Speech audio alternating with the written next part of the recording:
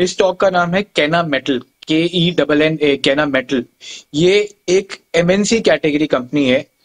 सत्ताईस सौ करोड़ की मार्केट कैप की कंपनी है, जो कि मेटल प्रोडक्ट और यू नो मशीनिंग सॉल्यूशंस में है।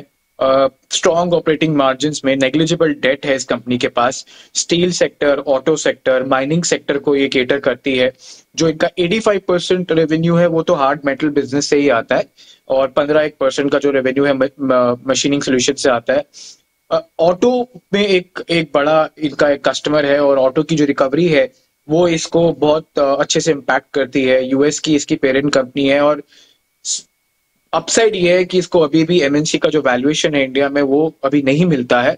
और प्राइस टू बुक अराउंड तीन ईवी एबिटा अराउंड बीस strong margin strong operating leverage और लास्ट ऑलमोस्ट डेढ़ से दो साल से काफ़ी अच्छा केपेक्स किया है इस कंपनी ने और रिजल्ट्स काफ़ी अच्छे आ रहे हैं।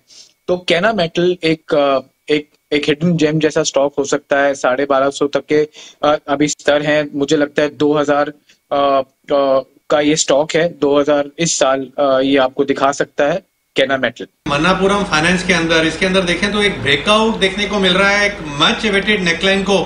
मच एवेटेड नेकलाइन को तोड़ के स्टॉक अनचार्टेड टेरिटरी में जाने की तैयारी कर रहा है। ज़बरदस्त ब्रेकआउट आता हुआ दिख रहा है। दीपांशु काफ़ी समय से हम स्टार्ट को अपने रेडार पर रखे हुए हैं। नीचे के लेवल्स पर एक बड़ा अच्छा बेस बना है। और ये जो ब्रेकआउट आया है स्टॉक को 200 के परे ले जाएगा। ये स्टॉक 205 210 के लेवल्स की ओर बढ़ रहा है।